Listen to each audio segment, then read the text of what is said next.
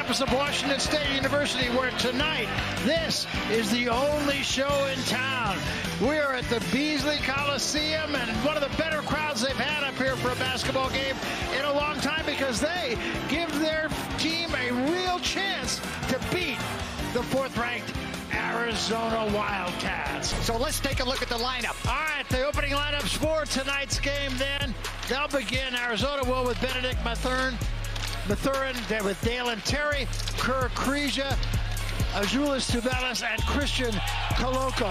Near travel, but a good job to get rid of it that time by Kriisa. Down low in the gimme.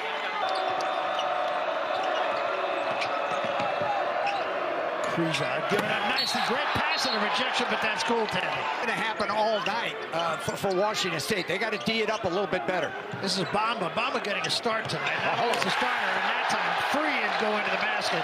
Francisco, longtime assistant, was at St. Mary's for many, many years, but Kyle really has done a beautiful job here. Lob and turnover and a lob and a finish by Gueye. Roberts for three. Front rim, this.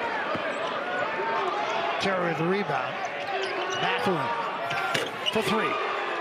Now I want to tell you that transition was quick. It's Arizona State. In fact, he didn't miss a shot. That's right. The whole the, the, bench for Arizona, I mean for Arizona, won that game. Nice steal here. Should be an easy one. All the way to the basket. Roberts for the finish. In the NBA and coaching, what what a success story.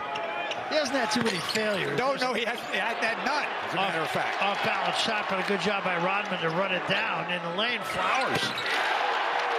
For Washington State, a transfer from South Alabama. He's not only scored, he rebounds, he does a lot of things with the ball. He's been really, really vital to their success. And that's Gueye misses a follow. And finally, it's down in the hands of Tubelis, and here come the Wildcats. Kriisa skip pass. Larsson, nice pass, no look down low. Tubelis the finish. You know, Farberry 0 for 5 from 3. Can't win this game if you're the Cougars if you can't shoot it from the outside. And been Bagel, that's Rodman to the basket off a very nice look. And here's one the other way.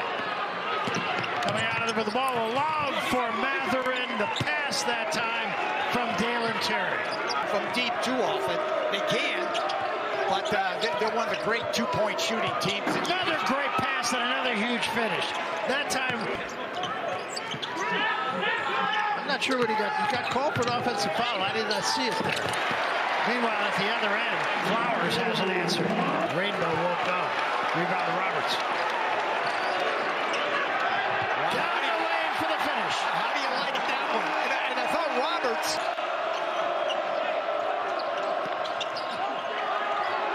from the corner, Larsson for three.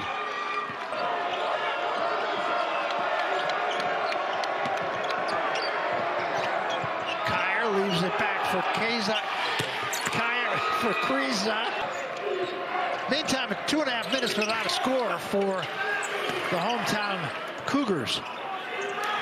Another try this time by Kriisa. He's got two of those.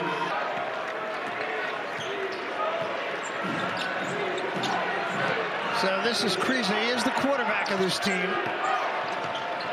Floater in the lane. Larsson hit the backboard twice and went in. But then Virginia, you know, Tony Bennett just went in there and beat them, and they've lost the games, even though they're yeah got great personnel. Well, that breaks a long dry spell, and that was not an easy shot.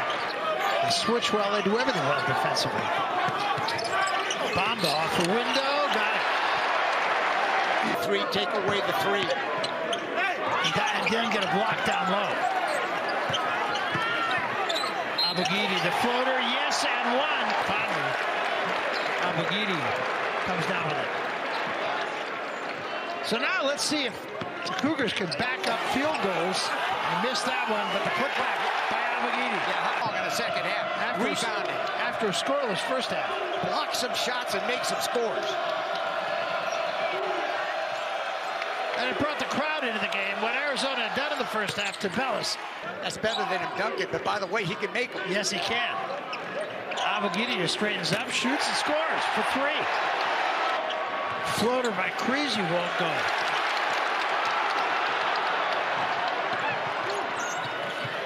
Roberts, he can make that. And does, gets some luck. Got seven on a shot clock. Flowers back left. Trey. How do you like this guy Flowers from deep? Okay, if the Wildcats keep their poise, good high screen and roll. Couldn't get the roll, but a beautiful finish. Yeah, I think it was Ballo who got it. Against Arizona State and came back and won Came more roaring handily back. in the second half. So they're used to a little bit of a run. Roberts a finger roll. But you know, another And a steal. turnover. Um, There's Bamba one on one. Bamba to the basket, protect with the body, couldn't get it to go. And here come the Cats. Cats have numbers five on two. And Mathurin finishes it for three. No. I remember in that tournament they beat three number one seeds to win to win That's to win right. national championship. Larsson back the other way. And by the way, they finished fourth place in the Pac-10. I you the- remember that year? I do. I think the highlight of the whole tournament for me was when they messed up Luke's hair. That's right.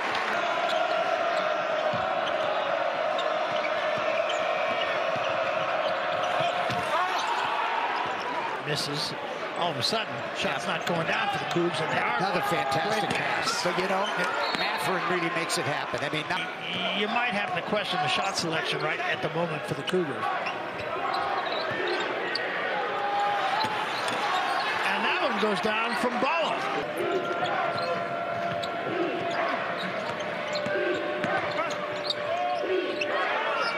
Ballo did it once, gonna do it again. Why not is Why. Yes. do I get a multiple choice? no, you don't. you know everything. That's no Williams the basket. if you're Arizona now, looks like a matchup. Had to take that shot, Well, and of course shot. he knocks it down. Barry, I want to tell you, that was a tough shot. That was with one second left on the shot clock. In the meantime, it's 54-39. Yes, it is in a heartbeat.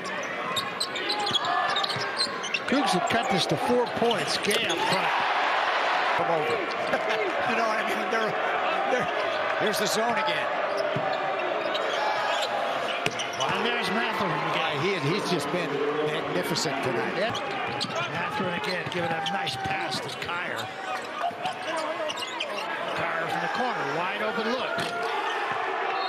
Quickness, athleticism, defensive intensity. This is Kier. Just blows by everybody.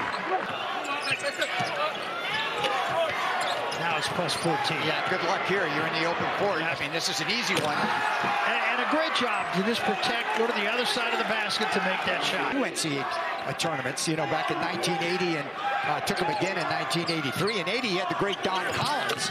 And you remember Don Collins was House. And Stuart House was a tremendous player. This place was rocking at that time. And even though Madeline went down hard, thought he might have been fouled. There's Williams. Yes, sir. Dennis Rodman, but uh, I'm sure he's right now in the shadow very much of his sister, who just got named to the women's national soccer team. Which is pretty impressive. Yeah. So, you know, he, they've done it a lot of different ways. A little bit. He didn't flop. It was close, but he did. Yeah, close. Let, let, the, let the official make the call. Fall, flop, they both start with an F. Is, is Mouhamed Gueye? Is he? Yeah. hopefully, he is not severely hurt because they have a tough stretch ahead. Do the Cougars, and they need him. DeWolf with the rebound and putback. You know, way back in 08 was the last time the Cougars were in the NCAA tournament. You know, and Koloko, pure. Great recruiting trips, by the way. Yeah, that's right. Got a big budget. You gotta have a big budget. Bet you do. And, and even Washington State also, speaking of international players, I'm telling you, they're going to be tough to beat. they are going to be tough. Oh, you bet. They're going to be. I think they're going to be tough to beat from here on through the Pac-12 tournament and into the NCAA tournament. It's going to take a, a tremendous effort to really uh, defeat this Arizona team. And that is the horn, and the final score 72 to 60. Again, in all candor, was not as close as the score would seem to indicate. Now.